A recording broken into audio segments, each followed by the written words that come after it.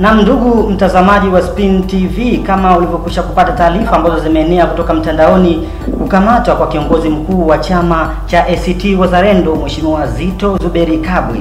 Sasa Spin TV imeamua kumtafuta katibu wa itifaki na uenezi na mawasiliano wa ACT ndugu Ado Shaibu.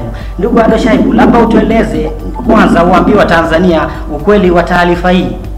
Taarifa zinazoenea kwenye vyombo vya habari na mitandao ya kijamii kuhusu kukamatwa kwa ndugu Zitto Kabwe ni za kweli. Leo saa kumi na mbili asubuhi polisi walikwenda na gari lao nyumbani kwa ndugu Zitto Mbezi Beach, Dar es Salaam, wamemkamata na mpaka sasa wanamshikilia. La, labda Watanzania wangependa kufahamu nini hasa chanzo ambacho mpaka sasa hivi mmepata kukifahamu kwa chama chenu cha kukamata kwa kiongozi wenu? Ah, kwanza ah, walimkamata na kumpeleka Chang'ombe na mahojiano yaliyofanyika Chang'ombe kwa sehemu kubwa yalijikita kutokana na mkutano ambao ndugu Zito aliufanya akizindua kampeni za udiwani pale Kijichi. Wanadai baadhi ya matamshi ambayo aliyatoa Kijichi wao wanaona ni ya kiuchochezi, sababu moja ya maneno aliyotoa Kijichi ni kwamba Watanzania wakichagua system ni kama watachagua watu walioshindwa kulishughulikia suala la mauaji holela ya wanasiasa, kupotea kwa wanasiasa, kupigwa risasi kwa wanasiasa na miili ya raia kuopolewa ovyo ovyo Koko. Kwa hiyo ah, haya kwa mujibu wa polisi waliona ni masuala ya kiuchochezi. Kwa hiyo baada ya mahojiano walipatia huru kwa dhamana eh, lakini wamemkamata tena na sasa anaojiwa katika kituo cha polisi Kamata kilichokuwepo ah, Kariakoo. Ah, sasa baada ya kupata taarifa hizo, nyinyi kama chama ACT, labda mmetoa tamko gani, mmetoa neno gani kwa Watanzania?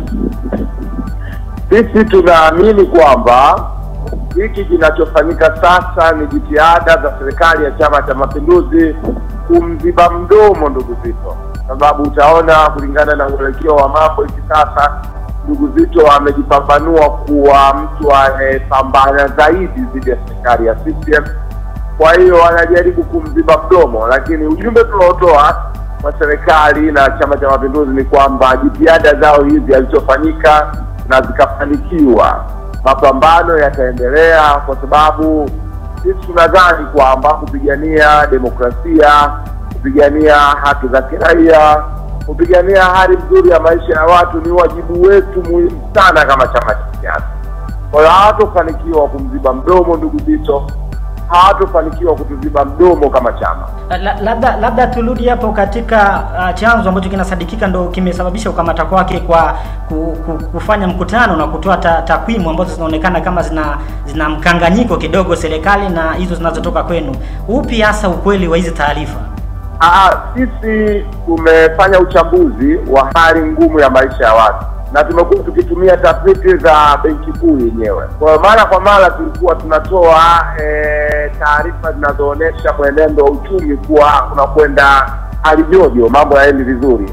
E, na majuzi tumetoa ah, taarifa yetu kuhusu uchambuzi unaoonyesha kwamba taarifa zinazotolewa na bodi ya takwimu zina walaki. Tunafahamu kilichowafanya wamlete Kamata sasa ni mashauri haya, lakini eh, sheria haijakataza watu kusafiri takwimu. Kama data zilizopo zinaonyesha watu wa takwimu wanapotosha, kama chama cha siasa tunao wajibu wa kuonyesha usahihi uko wapi. Kwa hiyo ilikuwa ni sahihi tubishane kwa hoja, imekuwa vyema uh, watu wa ofisi ya takwimu wamejitokeza kujibu jana, kutujibu sisi. Huo ndio wajibu wa ofisi ya umma, huo ndio wajibu wa eh, chama cha kisiasa cha CCM. Okay, nikushukuru ndugu Ado. Eh,